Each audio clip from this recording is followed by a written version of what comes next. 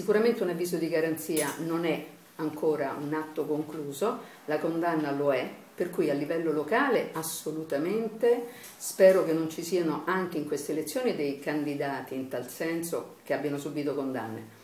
Il problema è più grande a livello nazionale. Spero che nessuno faccia queste proposte e che ci sia il popolo che faccia capire che è una cosa altamente ingiusta e impopolare.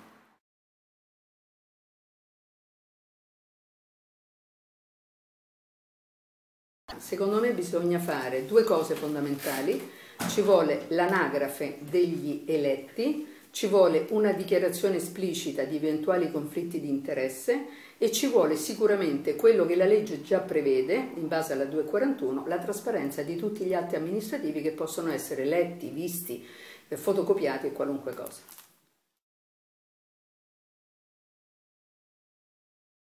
Allora, bisogna separare intanto il problema delle persone, e sto parlando di tutte le persone che hanno eh, situazioni di precarietà nel mondo del lavoro, e lì, secondo me, la tutela neanche si deve dire che va eh, difesa.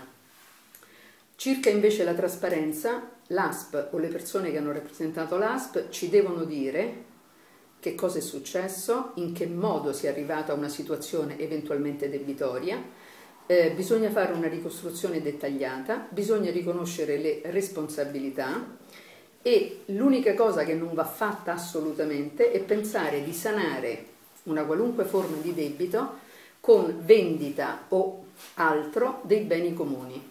Quello assolutamente no.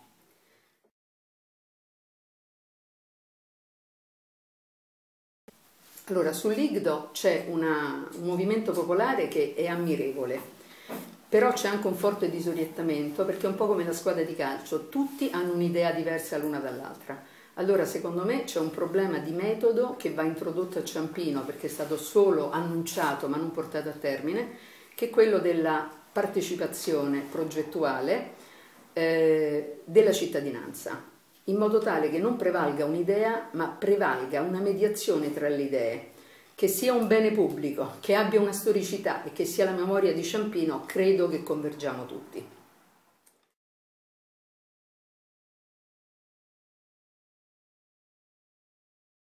Allora, il problema serio sull'aeroporto è che non ci sono dei monitoraggi costanti circa il tasso di inquinamento che eh, l'aeroporto comporta.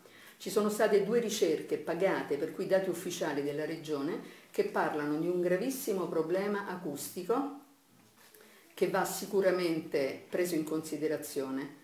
La cosa da fare è sicuramente non spostare l'aeroporto da Ciampino a Fiumicino, perché questo si chiama scaricare ad altri i nostri problemi. Spostare i passeggeri sì, capire che i voli da 150 devono arrivare a 60, questo va fatto, e soprattutto, ripeto, monitorare costantemente che cosa succede dell'inquinamento acustico e ambientale. Ciampino da sola non riesce a fare niente, Ciampino è un pezzo di territorio fra due colossi, i Castelli e Roma, il comune di Ciampino da solo non risolve i problemi che sono sovracomunali, ci vuole un tavolo di trattative con tutti gli enti preposti.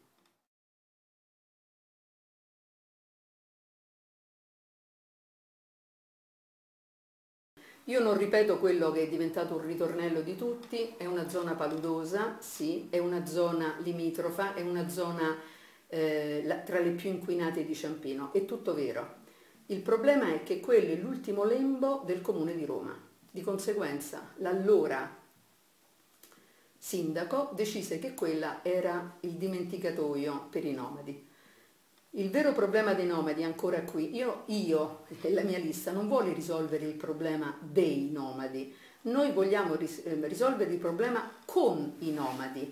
I nomadi hanno dei, dei rappresentanti degnissimi, sicuramente si deve partire da due situazioni. Questo Stato non può durare, bisogna cambiare le cose, un numero così crescente di persone non può esserci, l'incendio che abbiamo visto ultimamente non si può ripetere e secondo me il nodo centrale di tutto questo è parlare dall'attività lavorativa che queste persone fanno.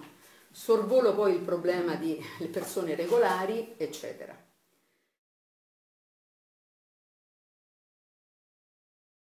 Allora, noi abbiamo già una situazione di eh, piano regolatore che è stabilita. Diciamo che non si devono fare altri varianti, perché Ciampino è, dopo Firenze, la città del centro più densamente abitata. Allora, una cosa che va sicuramente fatta è dare la prevalenza al recupero delle strutture già esistenti e degli edifici già esistenti, al miglioramento, al potenziamento delle cose che abbiamo e poi il mio desiderio e della mia lista è quello che l'ultimo lembo di zona verde che si chiama Valle Marciana, dove si produce il vino DOC, rimanga zona verde.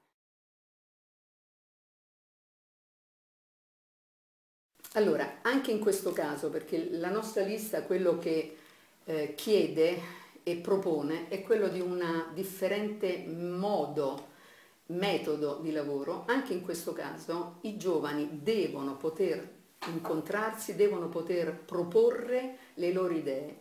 C'è una bellissima esperienza fatta da Bollenti Spiriti in Puglia, dove i ragazzi si sono incontrati, hanno fatto delle proposte di progetto, dopodiché sono stati trovati finanziamenti che adesso si stanno realizzando. Allora, che nulla cada dall'alto, che i ragazzi vanno accompagnati è ovvio, ma che bisogna esercitare la fase dell'ascolto è necessario. Luoghi di aggregazione ci vogliono, ma luoghi qualificati. Allora penso, non so, a una libreria caffè che va benissimo, oppure penso a, eh, al rilancio per esempio di tutte le attività creative che hanno senso. Io ricordo con nostalgia eh, i festival che si facevano una volta, sia del cinema che della musica. Ecco, riproporre cose che accrescono formazione, cultura e motivazione ed aggregazione.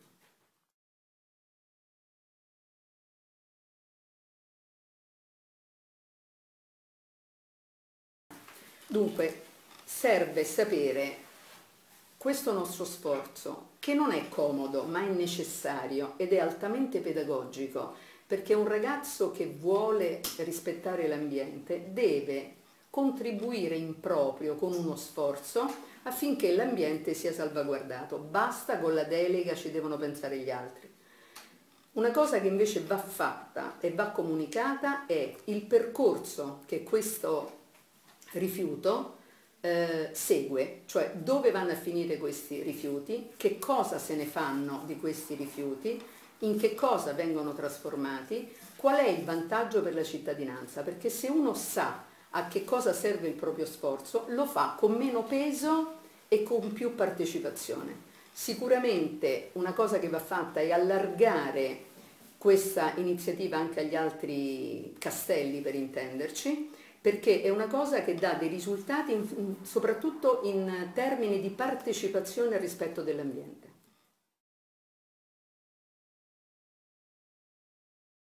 Allora, intanto è una lista civica, intanto abbiamo un progetto che ha cinque obiettivi che sono la terra, l'aria, l'acqua e il fuoco, per cui basta leggere il programma per rendersi conto che al centro di tutto non mettiamo le cose ma mettiamo le persone, mettiamo un metodo, ma soprattutto la cosa a cui teniamo è il bene comune.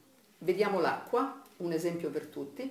Allora, il comune di Roma anzi la provincia di Roma è un, un socio di minoranza della, della CEA, eh, quest'anno hanno avuto come utili, non parlo di ricavo, utili 58 mila, eh, milioni di euro, scusate, la provincia di Roma in maniera molto corretta e consapevole ha detto che la metà voleva investirli per il, miglioramento della, eh,